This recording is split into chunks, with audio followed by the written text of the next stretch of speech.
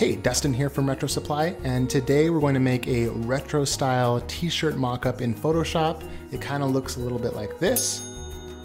And I've also included the textures that you can download in the description below so you can follow along. So enjoy the tutorial.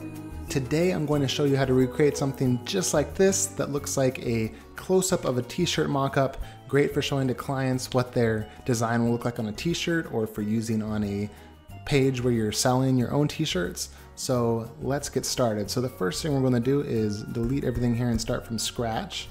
And then I'm going to paste in my artwork first of all.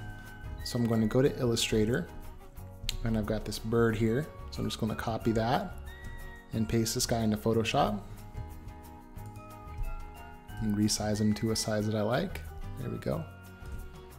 Okay, so the next thing is, well, let's rename this to Blackbird. So the next thing is we're going to add the color of the t-shirt. So we'll just go down here and select create new fill or adjustment layer. We're going to choose solid color and then we're going to pick our actual color. So I'm going to go for kind of a slightly muted red color.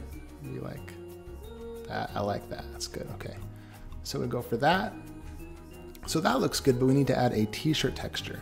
So the next thing I'm going to do is I'm going to place a t-shirt texture in here. So I got this, which I'm going to provide for you so you can just download it and uh, do this yourself too. So we place this in and then we're just going to resize it to fill up the whole canvas. That looks good, press enter. So this is a good t-shirt texture. Problem is that it has taken away our color because it's blocking it. So what we're going to do is we are going to go to our blending modes here and a great blending mode for this is linear light. So we click on that, and just like that, this is looking pretty much like a t-shirt here. So I'm gonna lower the opacity a little bit because it's a little intense. Um, but you see like uh, right around like, there we go, I like that. Okay, so 60%, it's looking good. So we are surprisingly almost done here. So the next thing we're going to do is we're going to select our artwork and we're going to create a folder. And we'll just call it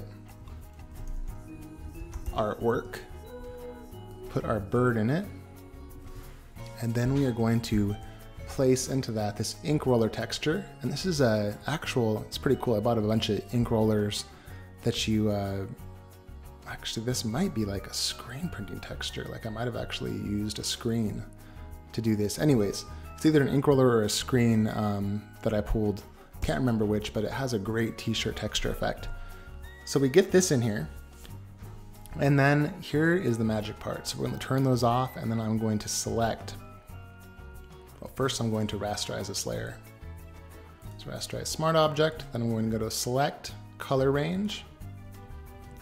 And I have it selected to highlights, fuzziness, 50%, and the range at 255. I'm going to say okay. And then I can literally just delete that, push Command D to deselect, and then turn all this stuff back on again. And then here is the cool part. So I'm just going to right click on this texture and I'm going to go to blending options. And then I'm going to choose knockout shallow. And then check this out. We just lower this opacity. Pretty sweet, right?